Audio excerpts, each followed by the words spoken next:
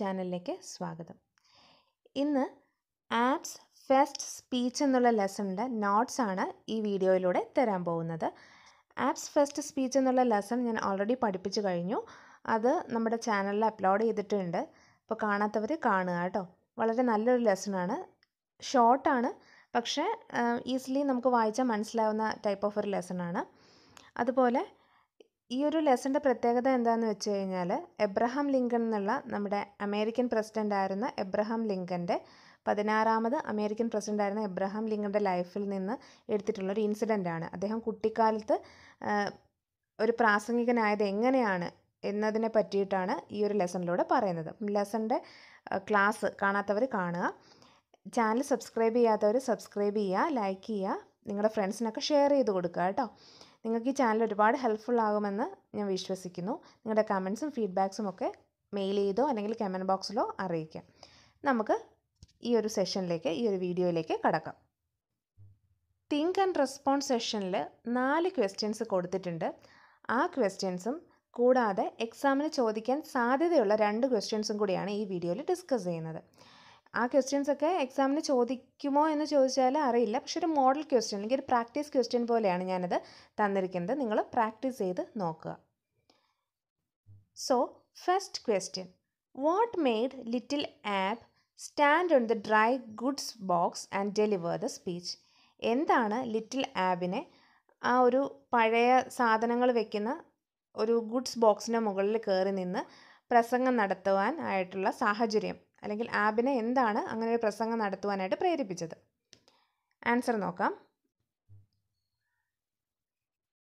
The speaker delivered the speech standing on a tree stump അപ്പോൾ പ്രസംഗം നടത്തിയിരുന്ന ആ സ്പീക്കർ സംസാരിച്ചത് ഒരു ട്രീ സ്റ്റമ്പിന്റെ മുകളിൽ കയറി നിന്നാണ്. It was the custom there അപ്പം ആ സ്ഥലത്തെ ഒരു കസ്റ്റമാണ് രീതിയാണത് പ്രസംഗിക്കുന്ന ആൾ ഒരു ട്രീ സ്റ്റമ്പിന്റെ മുകളിൽ കയറി നിന്നാണ് പ്രസംഗം നടത്തുന്നത്. Tree stump might have been too short for little Abe അപ്പം ചെറിയ ആപ്പിന് ആ ഒരു ട്രീ സ്റ്റംപ് എന്ന് പറയുന്നത് വളരെ ചെറുതാണ്. കാരണം അവൻ അതിന്റെ മുകളിൽ കയറി നിന്നാലേ ആൾക്കാർക്ക് കാണാൻ പറ്റില്ല. So he stood on a dry goods box to make the speech അതുകൊണ്ട് തന്നെയാണ് അവൻ കുറച്ചുകൂടി ഉയരമുള്ള ഒരു ഡ്രൈ ഗുഡ്സ് ബോക്സിന്റെ മുകളിൽ കയറി നിന്ന് സ്പീച്ച് നടത്തിയത്. അപ്പം ഇതാണ് first ക്വസ്റ്റ്യന്റെ answer now second question question two do you think good dress, appearance, position in society, etc. are needed to present yourself before the public for a speech.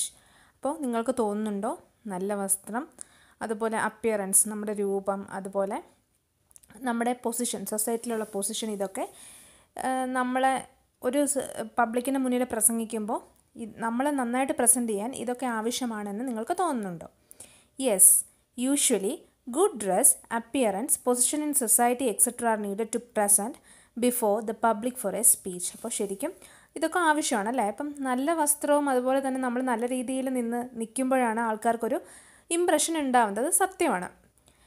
So ഇതൊക്കെ ആവശ്യമാണെന്നാണ് നമ്മൾ ആദ്യത്തെ സെന്റൻസിൽ പറയേണ്ടത്. അപ്പം നിങ്ങൾ നോക്കിയാൽ അറിയാം ക്വസ്റ്റ്യനിൽ നിന്ന് എടുത്തിട്ടുള്ള ക്വസ്റ്റ്യൻ തന്നെയാണ് ഫസ്റ്റ് സെന്റൻസ് ആയിട്ട് നമ്മൾ എഴുതിയിരിക്കുന്നത്. എക്സ്ട്രാ എസ് എന്നുള്ള do you think yes or no question ആയതുകൊണ്ട് നിങ്ങൾക്ക് തോന്നുന്നുണ്ടോ എന്ന് ചോദിച്ചതുകൊണ്ടാണ് നമ്മൾ എസ് എന്ന് കൊടുത്തത്. ബാക്കി ഇത്രയും ക്വസ്റ്റ്യൻ എന്നുള്ളതാണ്. But in case of little Abe it is not his appearance but his confidence quality of speech and his courage enough to challenge an orator who was much more experience than him attracted the public പക്ഷേ little ആബിന്റെ കേസിൽ അവന്റെ appearance അല്ല. പകരം അവന്റെ കോൺഫിഡൻസും അവന്റെ സ്പീച്ചിന്റെ ക്വാളിറ്റിയും അതുപോലെ തന്നെ അവന്റെ കറേജ് അവന്റെ ധൈര്യവും എന്തിന്? ഒരു പബ്ലിക് ഓറേറ്ററിനെ ചലഞ്ച് ചെയ്യാനുള്ള അവന്റെ ധൈര്യവുമാണ്. അവനേക്കാളും ഒരുപാട് എക്സ്പീരിയൻസ് ആയിട്ടുള്ള ഒരു പബ്ലിക് ഓറേറ്റർ ചലഞ്ച് ചെയ്യാനുള്ള അവന്റെ ധൈര്യവുമാണ്. അവനെ മറ്റുള്ളവരുടെ മുന്നിൽ അവനൊരു ഇമ്പ്രഷൻ വന്നത് അല്ലാതെ അവന്റെ ഡ്രസ്സോ ആ കഥയിൽ പറയുന്നുണ്ട് അവൻ നല്ല വസ്ത്രങ്ങളൊന്നും അല്ല ധരിച്ചിരിക്കുന്നത്. ഒരു കച്ചി കൊണ്ടുണ്ടാക്കിയൊരു തൊപ്പിയാണ് ധരിച്ചിരിക്കുന്നത് എന്നൊക്കെ പറയുന്നുണ്ട്. അപ്പോൾ അവന്റെ അപ്പിയറൻസോ അല്ലെങ്കിൽ അവന്റെ പൊസിഷനോ ഒന്നുമല്ല എബ്രഹാം ലിങ്കനെ ഒരു നല്ല ഒറേറ്ററാക്കി മാറ്റിയത് അവന്റെ പ്രസംഗത്തിന്റെ ക്വാളിറ്റിയാണ് ശരിക്കും ഫസ്റ്റ് ഇമ്പ്രഷൻ വരണമെന്നുണ്ടെങ്കിൽ നല്ല ഡ്രസ്സൊക്കെ വേണം നല്ല ഇമ്പ്രഷൻ വരണമെന്നുണ്ടെങ്കിൽ നല്ല ഡ്രസ്സൊക്കെ വേണം എന്നുള്ളത് സത്യമാണ്. പക്ഷേ ക്വാളിറ്റി വെച്ചിട്ടും നമുക്ക് നല്ല ഇമ്പ്രഷൻ കിട്ടും എന്നാണ് നമ്മൾ താഴെ പറഞ്ഞിരിക്കുന്നത്. അപ്പം ഇതാണ് രണ്ടാമത്തെ ക്വസ്റ്റ്യന്റെ ആൻസർ നിങ്ങൾക്ക് പഠിക്കാൻ എളുപ്പത്തിന് വേണ്ടിയിട്ടാണ് സിമ്പിൾ സെന്റൻസസ് ക്വസ്റ്റനിൽ നിന്ന് തന്നെ എടുത്ത് എഴുതി ഫസ്റ്റ് സെന്റൻസ് നിറച്ചിരിക്കുന്നത്. സെക്കൻഡ് സെന്റൻസ് വന്നിട്ട് explanation now third question what is the role of Dennis in bringing out the best in young Abe ഇപ്പോൾ ഡെന്നിസിന്റെ റോൾ എന്താണ്? യങ് ആബിന്റെ ആബിനെ അവന്റെ ബെസ്റ്റ് പുറത്തേക്ക് കൊണ്ടുവരാൻ അവനിലുള്ള ഏറ്റവും ഏറ്റവും നല്ല ക്വാളിറ്റി പുറത്തേക്ക് കൊണ്ടുവരാനുള്ള ഡെന്നിസിന്റെ റോൾ എന്താണ്? So Dennis Abe's first friend an important role sorry played an important role in bringing out the best in young Abe അപ്പോൾ ശരിക്കും ഡെന്നസ് ആബിന്റെ ഫ്രണ്ടായ ഡെന്നസ് അവന്റെ ബെസ്റ്റ് അതായത് എന്താണ് ആബിന്റെ എല്ലാ കഴിവുകളും പുറത്തേക്ക് കൊണ്ടുവരാൻ ഒരു ഇമ്പോർട്ടന്റ് റോൾ ആര് വഹിച്ചിട്ടുണ്ട്? ഡെന്നസ് വഹിച്ചിട്ടുണ്ട്. He's confident about Abe's abilities അപ്പോൾ ആരാണ് കോൺഫിഡന്റ് ഡെന്നസ് ഡെന്നസ് ഇവന്റെ നല്ലൊരു ഫ്രണ്ടായിരുന്നു ഡെന്നസിന് അവന്റെ കഴിവുകളിൽ കോൺഫിഡൻസ് ഉണ്ടായിരുന്നു. ആൻഡ് ഓൾവേസ് എൻകറേജ്ഡ് ആബ് അവൻ എപ്പോഴും ആബിനെ പ്രോത്സാഹിപ്പിച്ചുകൊണ്ടേ ഇരുന്നു.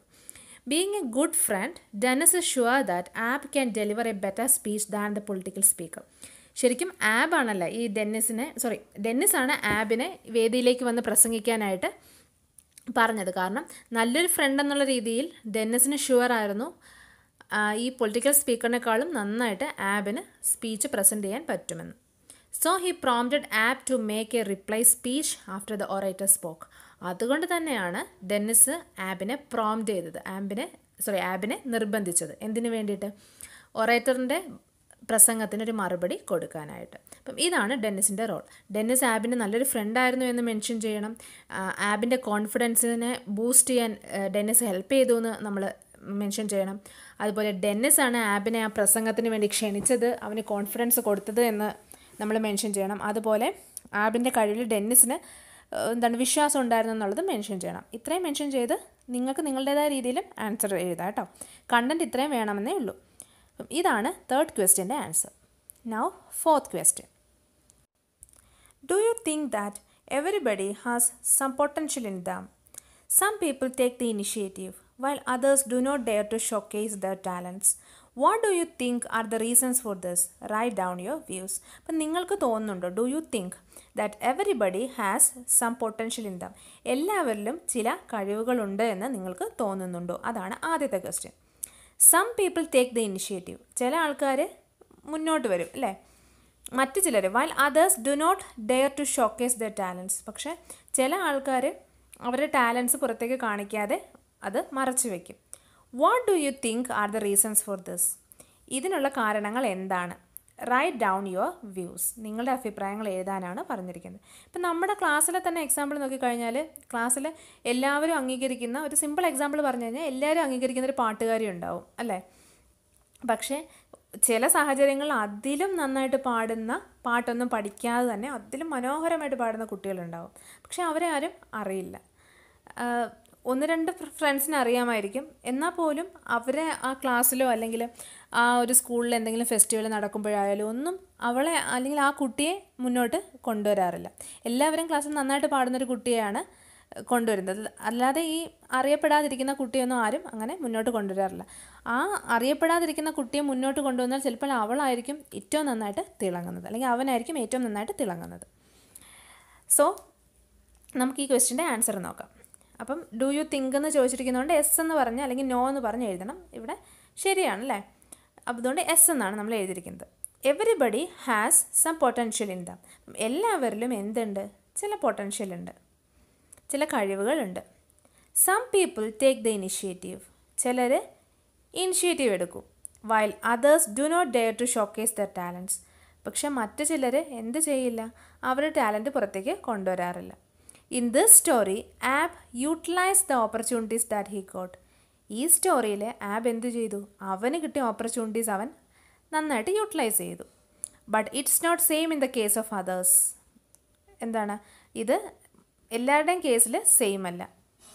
ഇറ്റ്സ് മെയിൻലി ബിക്കോസ് ഓഫ് ഇതിന് കാരണം എന്താണെന്നാണ് പറയുന്നത്? Lack of opportunity lack of confidence lack of encouragement അപ്പം എന്തൊക്കെയാണ് ഇതിന് കാരണം? അതായത് ചിലർ മുന്നോട്ട് വരാത്തതിന് കാരണം എന്താണെന്നാണ് ഒരു ചോദ്യം ഉണ്ടായിരുന്നു അതാണ് നമ്മൾ താഴെ കൊടുത്തിരിക്കുന്നത്. ലാക്ക് ഓഫ് ഓപ്പർച്യൂണിറ്റി ചിലർക്ക് അവസരങ്ങൾ കിട്ടാറില്ല. ചിലർക്ക് കോൺഫിഡൻസ് ഉണ്ടാവാറില്ല. ധൈര്യം ഉണ്ടാവാറില്ല. ചിലർക്ക് എൻകറേജ്മെന്റ് പ്രോത്സാഹിപ്പിക്കാൻ ആരും ഉണ്ടാവില്ല. ചിലർക്ക് പ്രോപ്പർ ട്രെയിനിങ് ഉണ്ടാവില്ല. അതുകൊണ്ടാണ് അവർ മുന്നോട്ട് വരാത്തത്.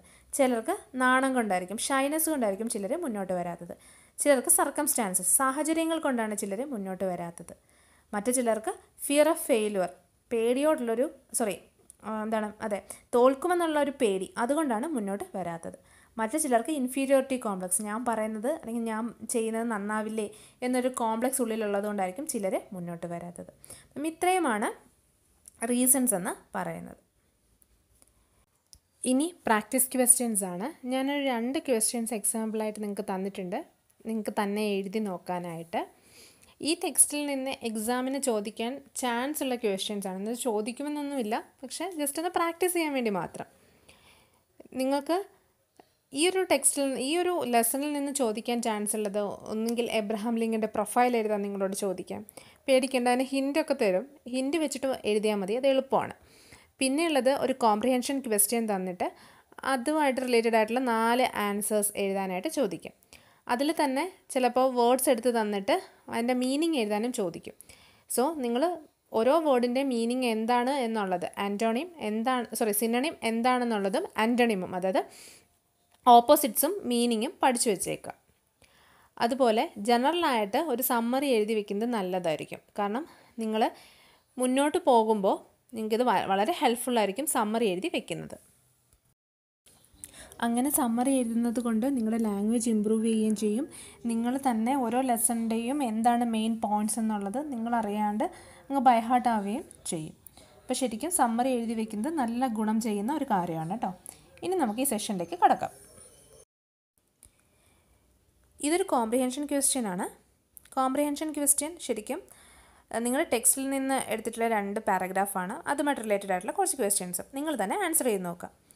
Abe in company with his rail splitting companion Dennis Hanks attended a political meeting, which was addressed by a typical stump speaker. One of those loud fellows, loud voiced fellows, who shouted at the top of his voice and waved his arms wildly. So നമ്മൾ already പറഞ്ഞു കഴിഞ്ഞതാണ് ടെക്സ്റ്റിൽ ആബ് എന്താണ് തന്റെ കമ്പാനിയനായ ഡെന്നിസുമായിട്ട് ഒരു political മീറ്റിങ്ങിൽ attend ചെയ്തു അതിലൊരു സ്റ്റംപ് സ്പീക്കർ ഉണ്ടായിരുന്നു സ്റ്റമ്പിന്റെ മുകളിൽ നിന്ന് സംസാരിക്കുന്ന സ്പീക്കർ അദ്ദേഹം വളരെ ലൗഡ് വോയിസ്ഡ് ആയിട്ടുള്ളൊരു ഫെലോ ആയിരുന്നു അദ്ദേഹം എന്താണ് കൈയൊക്കെ വീശിയിട്ടാണ് വർത്തമാനം പറഞ്ഞത് എന്നൊക്കെ നമ്മൾ പറഞ്ഞു. At the conclusion of the speech which did not meet the views either of Abe or Dennis the latter declare that Abe could make a better speech than that speech കഴിഞ്ഞപ്പോൾ ഡെന്നിസ് എന്ത് പറഞ്ഞു? ഇതിലും നന്നായിട്ട് ആബിന് speech നടത്താൻ പറ്റുമെന്ന് പറയുന്നു. Whereupon he got a dry goods box and called on Abe to reply to the combine sorry campaign orator so campaign ഒറേറ്ററിന് reply കൊടുക്കാനായിട്ട് ഡെന്നിസ് ആബിനോട് പറയുകയും ദൂരെ പോയി ഒരു ഗുഡ്സ് ബോക്സ് എടുത്തുകൊണ്ട് വരികയും ചെയ്തു. അതിന്റെ മുകളിൽ കയറി നിന്ന് ആബിന് പ്രസംഗിക്കാനായിട്ട്. ഇതാണ് പാരഗ്രാഫിന്റെ മീനിങ് എന്ന് പറയുന്നത്. ഇനി ഇതുമായിട്ട് റിലേറ്റഡ് ആയിട്ടുള്ള നാല് ക്വസ്റ്റ്യൻസ് ആണ് ഞാൻ താഴെ കൊടുത്തിരിക്കുന്നത്. ഫസ്റ്റ് ക്വസ്റ്റ്യൻ വളരെ സിമ്പിൾ ആയിട്ടുള്ള ക്വസ്റ്റ്യൻസ് ആണ് കേട്ടോ. First question who is Abe's companion ആരാണ് ആബിന്റെ കമ്പാനിയൻ ഓഫ് കോഴ്സ് നിങ്ങൾക്കറിയാം ഡെന്നിസ് ആണ്. Dennis is the companion of Abe എന്ന് വേണം എഴുതാൻ. Now second question who is mentioned here as loud voiced fellow? ആരെയാണ് ലൗഡ് വോയിസ്ഡ് ഫെലോ എന്ന് പറഞ്ഞിരിക്കുന്നത്? Campaign orator or political orator third question who declare that Abe could make a better speech than that ആരാണ് അങ്ങനെ declare ചെയ്തത്? നിങ്ങളെക്കാളും നന്നായിട്ട് ആപ്പിന് നല്ലൊരു speech നടത്താൻ പറ്റുമെന്ന് ഡിക്ലെയർ ചെയ്തത് ആരാണ്? Dennis Abe's companion now write meaning of the following അത് ചോദിക്കാം കേട്ടോ. മീനിങ് എഴുതാനായിട്ട് ചോദിക്കാം. അപ്പം ഈ പാരഗ്രാഫിൽ നിന്ന് രണ്ട് വേർഡ്സാണ് ഞാൻ എടുത്ത് മീനിങ്ങിന് വേണ്ടി തന്നിരിക്കുന്നത്. First one is companion meaning or synonym എന്നായിരിക്കും ചിലപ്പോൾ ചോദിക്കുക കമ്പാനിയൻ കമ്പാനിയൻ എന്നുള്ള വേർഡിന്റെ മീനിങ് എന്താണ്? Friend now stump speaker stump speaker എന്നുള്ള വേർഡിന്റെ മീനിങ് എന്താണ്? One who speaks upon one who speaks standing upon a stamp. അതാണ് സ്റ്റാമ്പ് സ്പീക്കർ. മീനിങ് കറക്റ്റായിട്ട് നിങ്ങൾ ടെക്സ്റ്റിൽ കൊടുത്തിട്ടുണ്ട്. അപ്പം ഇത്രയേ ഉള്ളൂ നമ്മുടെ പ്രാക്ടീസ് ക്വസ്റ്റ്യനിലെ ഫസ്റ്റ് ക്വസ്റ്റ്യൻ ഇനി സെക്കൻഡ് ക്വസ്റ്റ്യനിലേക്ക് കടക്കാം. Prepare a profile of Abraham Lincoln using the hints given below അപ്പോൾ എബ്രഹാം ലിങ്കന്റെ ഒരു പ്രൊഫൈൽ തയ്യാറാക്കുക. ഹിൻഡ് തന്നിട്ടുണ്ട്. ഹിൻഡ് വെച്ചിട്ട് വേണം പ്രൊഫൈൽ തയ്യാറാക്കാൻ. സോ നിക് നെയിം എന്ന് പറ തന്നിട്ടുണ്ട്. ആപ്പ് ജനിച്ച സമയം വർഷം തന്നിട്ടുണ്ട്. ഡേറ്റ് തന്നിട്ടുണ്ട്. സ്ഥലം തന്നിട്ടുണ്ട്. പതിനാറാമത്തെ യു എസിലെ പ്രസിഡന്റാണെന്ന് പറയുന്നുണ്ട്. സ്ലേവ്സിന്റെ മോചനത്തിനായിട്ട് ഇമാൻസിപ്പേഷനായിട്ട് പ്രവർത്തിച്ചിട്ടുണ്ടെന്ന് പറയുന്നു. ഡെത്ത് ഡേറ്റും തന്നിട്ടുണ്ട്. ഇത്രയും വെച്ചിട്ട് നിങ്ങളൊരു പ്രൊഫൈൽ തയ്യാറാക്കണം. ഞാനിവിടെ ഒരു സിമ്പിൾ പ്രൊഫൈൽ തയ്യാറാക്കിയിട്ടുണ്ട്. വളരെ കുറച്ച് ഡീറ്റെയിൽസ് നമുക്ക് തന്നിട്ടുള്ളൂ. എക്സാമിന് അങ്ങനെ ആയിരിക്കില്ല. കുറച്ച് കുറച്ച് കൂടുതൽ ഡീറ്റെയിൽസ് തരും. സോ ഞാനൊരു സിമ്പിൾ പ്രൊഫൈൽ ഇവിടെ തയ്യാറാക്കിയിട്ടുണ്ട്. ആദ്യം തന്നെ പ്രൊഫൈൽ എഴുതുമ്പോൾ വളരെ ഡീറ്റെയിൽ ആയിട്ട് ഞാൻ പിന്നീട് ഒരു വീഡിയോ ചെയ്യാം. ഇപ്പോൾ ജസ്റ്റ് ഒന്ന് മനസ്സിലാക്കാൻ വേണ്ടി പറയാം. നിങ്ങൾക്ക് അറിയാമായിരിക്കും ഓൾറെഡി നിങ്ങൾ ടെൻത്തിലൊക്കെ പ്രൊഫൈൽ ചെയ്തിട്ടുള്ളതാണ്. പ്രൊഫൈൽ ചെയ്യുമ്പോൾ ആദ്യം ആ പ്രൊഫൈൽ ചെയ്യുന്ന വ്യക്തിയെ പറ്റിയിട്ട് ആരെ പറ്റിയിട്ടാണ് നിങ്ങൾ പ്രൊഫൈൽ ചെയ്യുന്നത്?